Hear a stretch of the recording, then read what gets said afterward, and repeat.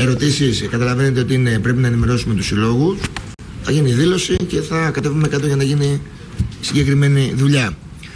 Σήμερα έγινε μία συνάντηση με τον ε, Πρωθυπουργό της χώρας για να μπορέσουμε να λύσουμε το μεγάλο πρόβλημα που έχει δημιουργηθεί στην τοπική αυτοδιοίκηση.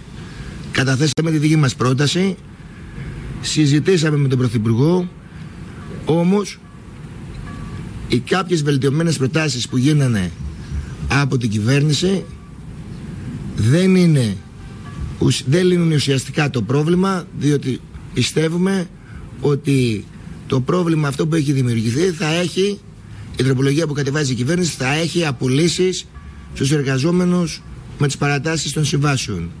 Η απόφαση της Ομοσπονδίας είναι ότι συνεχίζουμε μέχρι την Πέμπτη, δίνουμε τη μάχη για να περάσει η πρόταση που έχουμε καταθέσει στην κυβέρνηση και μετά την απεργιακή κινητοποίηση θα συνεδριάσει ξανά η Εκτελεστική Επιτροπή.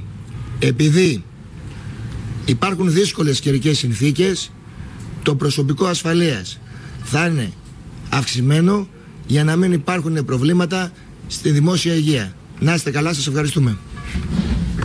Λοιπόν, αυτό ήταν.